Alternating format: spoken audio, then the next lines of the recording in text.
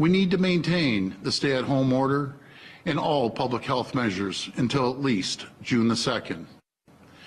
These are precious weeks we won't put to waste. Each and every day, over 130,000 people are getting the vaccine. That's why I expect that by June the 2nd, so long as we stay the course, we will be able to reopen outdoor recreation.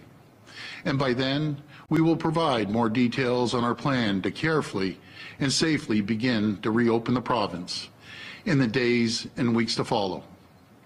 Friends, I know we're all eager to get back to some sense of normal, but at a time when contagious variants pose real risks to our province, we can't rush to reopen.